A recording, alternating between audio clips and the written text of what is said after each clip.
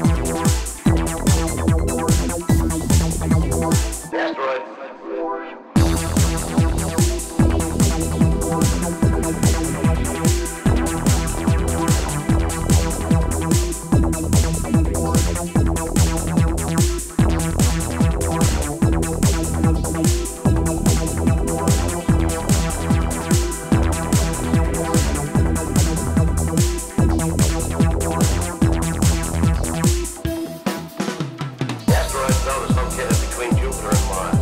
All shapes and sizes, thousands of them. As they collide, shatter, and rain down.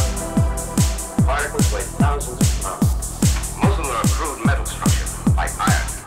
The big ones contain rare earths. The fissionable series, uranium, titanium, and tremendous quantities. It's no use if you can't get to it.